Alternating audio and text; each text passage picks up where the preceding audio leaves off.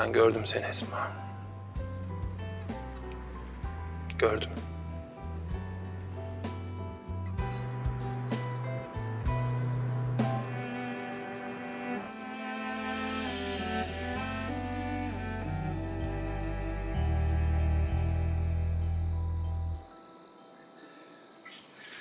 Oğlum Ecevit. Fırsat bu fırsat. Ya şimdi ya hiçbir zaman. Şimdi.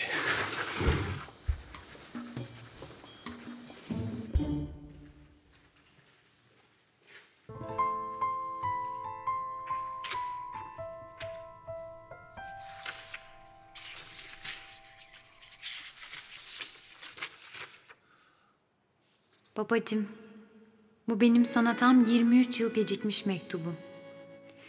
Bu 23 yıl eksik parçamı seninle tamamladım. Seni tüm masallarımın baş kahramanı yaptım. Kalbimden bir an olsun çıkarmadım seni. Yanımdayken de değilken de. Ben bir kuş yürekliydim. Eksiktim, korkaktım. Ama sen elimi tuttuğun gün tamam oldu. İçimdeki ürkek kuş senin ellerinden havalanıp kayboldu. Korkmuyorum şimdi, hiç korkmuyorum. Seni asla bırakmayacağım. Doğum günün kutlu olsun canım babam. Canım kızım benim ya.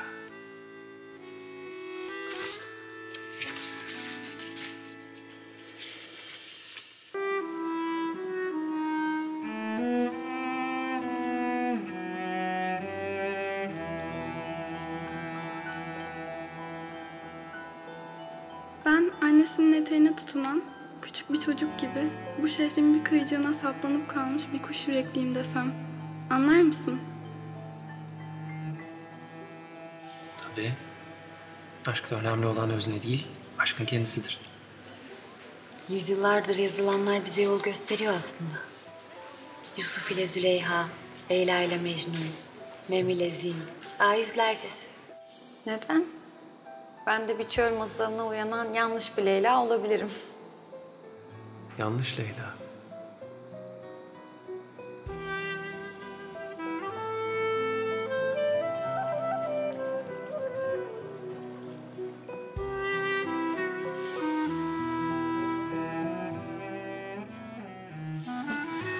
İhtimali bile değilim ki bu nasıl olayım.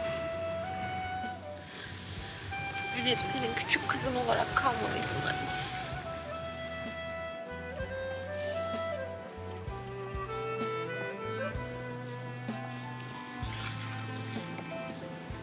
Baba.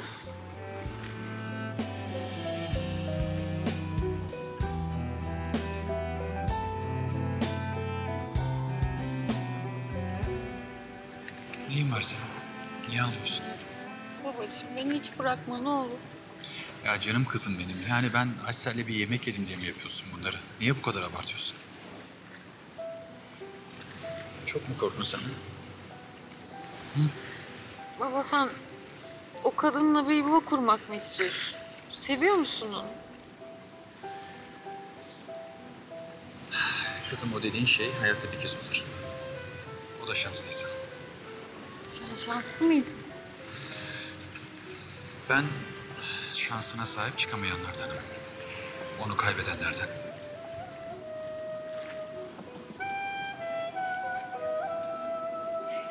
Anthony Quin'im yakışıklım. Şu ay parçası yavruya bir gül alacaksın mı? Ne demek bir tane? Benim kızıma gül bahçesi yakışır. Gül. Ver bakayım hepsini. Allah senden razı olsun aslanım. Allah tez zamanda kavuştur inşallah sevdiğine. Hadi bakalım hadi o işler bizden geçti. İyi akşamlar. İyi geceler Anthony Quin'im. Sana da. Babacığım ne gerek vardı? Benim sana gül almam lazım. Senin doğum günün.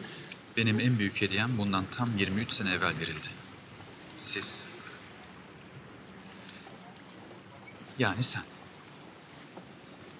Annemle ben. Öyle.